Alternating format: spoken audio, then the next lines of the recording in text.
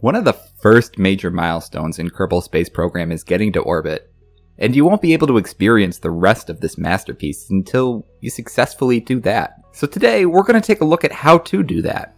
It takes a lot of skill and knowledge, but can be simplified down. So let's get started. The first thing you're going to need to know are keybinds. QWE and ASD are how you control your rocket. In this video, we're going to really only be using A and D for the most part, and that's going to tilt your ship to or away from the horizon, which is called pitching your ship. We're also going to be using W and S a little bit, and that's going to be forward and back. We'll be using those two keybinds. The other important ones to know are T, and that will enable SAS, which just helps your ship from spiraling out of control, and spacebar to stage your rocket. You're also going to want to take a look around the environment to make sure you know where everything is. The Mission Control Center, the Contract Center, the Vehicle Assembly Building and the Launch Pad, as well as the Research and Development Center are the most important places to know about and remember. Once you've done that, I'm going to have you go ahead and take some early contracts and build a couple of practice rockets using the movement keys to travel off into the horizon. If you want, you can add a couple science instruments, um, but just make sure you're completing the contracts. These early contracts will give us some of the money that we need later on to build our orbital rocket. First ship is just going to be a crew capsule, parachute, and a solid rocket booster, as well as some fins to keep it pointed in the right direction. One of the tips with this first rocket, because solid rocket boosters can't point in any direction, they can't control your ship, is that early on in the flight you're going to want to point towards the horizon or else the rocket is going to come down too fast and the parachute won't deploy. So that is an important tip with this first rocket. And with the science we've gained from this launch, we're going to go into the research center and buy some liquid fuel and a liquid rocket engine. And that will allow us to control the ship better and have a much more stable flight experience. So for this second rocket, it's going to be very similar. You're going to need a crew capsule, a parachute, and this time we're going to be using fuel, which you get here, and a liquid rocket engine, which you'll get here. We won't be using solid rocket boosters on this one. We're going to throw a couple fins on the bottom here and we'll be all set. So we're going to go ahead and take off. You can see that we've got a little bit better control of this vehicle. We're going to let it speed up to about 100 meters per second and then we're going to start to pitch over to the right and that's to the horizon. And that's just so that we don't come down too fast and that we know our parachutes are going to work. So between these two rocket launches, we're going to have enough science and money to upgrade the launch pad and get the research that we need to build a rocket that is capable of getting to orbit fairly easily. Now, let's move on to what we've been waiting for. Building an orbital rocket and getting to orbit. There are many designs, you can even pick some good ones up off of Steam, and if you'd like to skip the rocket design and building process, just search for them in the Steam Workshop and they will show up under save files. If you'd like to build your own, there are a couple of things we need to know first.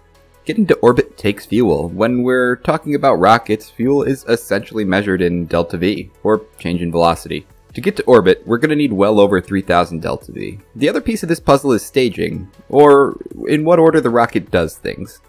The easiest way to get high delta V is through multiple stage rockets. That's how rockets work in real life. There is a booster to get them out of the atmosphere, and then a second stage to get them into orbit. First thing we need to build is the crew capsule, which is just a capsule, parachute, and a decoupler. Then we make the upper stage, which connects to the decoupler. There are five of these T200 tanks, which you can copy and paste multiples of by holding Alt and clicking on the item you want to duplicate. Then complete the upper stage with a swivel engine and a decoupler, and you've completed the upper stage. Moving on to the booster, we're going to place another 5 T200 tanks. Then if we hold Alt and click on the top tank, we can actually copy the entire booster. And if we press X or Shift X, we can change the amount of copies we want to place in symmetry mode, and we're going to want to create two additional copies. We want to make sure these copies are placed perpendicular to the door, that way they won't change the way the rocket flies. Then for the engines, it's a Reliant engine in the center and a swivel engine on each of the side boosters. Add a couple of fins at the very bottom of the rocket to make it more stable and you're all set. There is one more thing we have to do and that is to check staging. That means choose when and how the rocket uses its parts. Counterintuitively, the bottom higher numbers are first, so stage 4 happens first and stage 0 happens last. The staging screen is on the right, and if we hover over an icon, we can see what part it is on the rocket. We want the booster engines to go first. Once the booster runs out of fuel, this decoupler will detach the booster. So that will be next. Then the second stage engine will fire. We will keep that engine on until we deorbit. Then, once we start heading back to Earth, we're going to ditch the upper stage with this decoupler and finally activate the parachute. Okay, now we can head out to the launch pad. Quick tip before we get started. F5 quick saves and F9 will reload the last save, even mid-flight. It's useful. Try it out. Once you're on the launch pad, turn on SAS and throttle up, then press spacebar and activate the first stage and start the engine. Head straight up until you've hit about 100 meters per second and then start pitching to the right about 10 degrees. Once you've done that, keep the rocket pointed within the prograde marker, which is the circle with three lines. Prograde is just the direction a rocket is traveling in, so make sure to keep the rocket pointed prograde. Ideally, you'll keep your rocket pointed toward the bottom of the prograde marker. This is called a gravity turn and will slowly point you more towards the horizon. Getting to orbit is tricky. It isn't just about going straight up, because then you'd fall right back down. This is a tough thing to think about at first, but once you get up above 70 kilometers, you're going to need to go forward toward the horizon fast enough that when you get pulled down, you are past where the Earth would have been. This creates a giant circle known as an orbit. Okay, I know that was complex. What you need to know is that in order to stay in orbit, you have to travel towards the horizon very fast. So we're going to go upwards at a slight angle, and once we're out of the atmosphere, we're going to burn horizontally, and this will create a circular orbit. Once you think the top of the orbit is above 70 kilometers, you can throttle down and turn off the engine. Then, just wait until you get closer to the top of the orbit. Once you are getting toward the top of the orbit, known as the apoapsis, you're going to burn heavily towards the horizon. If you see the apoapsis moving, you're too far from the peak of the orbit, and you'll have to wait until you get closer. You can speed up or slow down time with the plus or minus keys. Just be careful, you can get going really quick doing this. So once you've gotten closer to apoapsis, try burning prograde.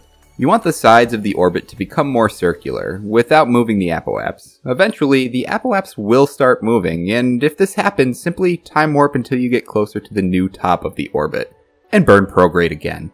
You might have to repeat this a couple of times. The point of doing this is to get the periapse, or the lowest point in the orbit, to be above 70 kilometers. Once you've done that, you've successfully gotten into orbit. This is the easy bit, deorbiting. Point your rocket retrograde, which in the nav ball is the circle with an X going through it, and this just means you're pointing backwards. Once you've pointed retrograde, you can press M to get to the map and move the camera so you've got a better view of the flight path. Once you've done that, just burn retrograde until you have a periapse that just touches the ground. A reentry that is too steep can be dangerous.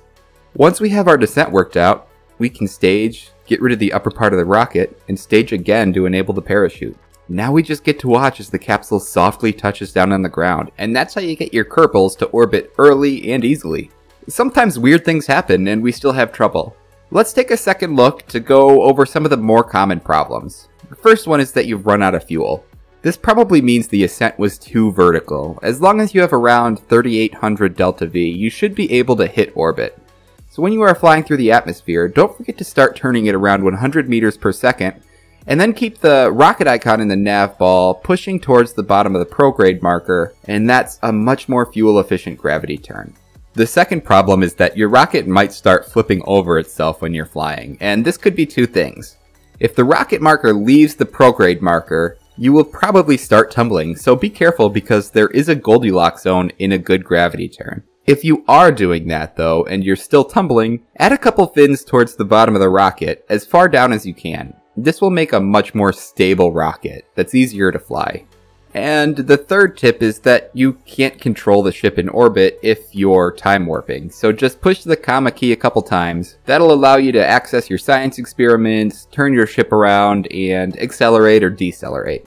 Congratulations, you've made it to orbit. This is a huge accomplishment and a major milestone. And remember, orbit is just the first step. There are so many challenges to work towards, so many planets to see, and so much to learn. And there's a brilliant community of modders for Kerbal Space Program that have worked hard to develop ways to make the game more beautiful and expand it even more. Once you've played through for a while, check them out. And hey, if you like this video, check out these ones. We learn about a lot of sandbox and open world games, just like Kerbal Space Program. I think you'll really like it. And don't forget to give this video a like on your way out. Thank you for watching.